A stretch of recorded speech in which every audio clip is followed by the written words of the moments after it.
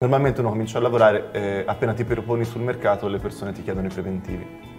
Ora, i preventivi non si fanno, non, non, non si fanno, non, non, esiste questa cosa, cioè devi uscire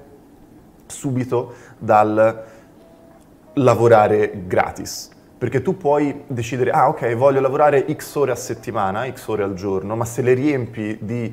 lavori gratis è completamente inutile riempirle, per cui devi uscire subito dalla roba, ah ok, ti faccio la consulenza gratuita e stai due ore col cliente perché devi capire che cosa c'è da fare con lui, poi gli fai il preventivo, perché diventa merce intercambiabile per cui non hai alcun valore, letteralmente non hai alcun valore, non si fanno i preventivi. Si discute con le tecniche di vendita rovesciata che vedremo adesso,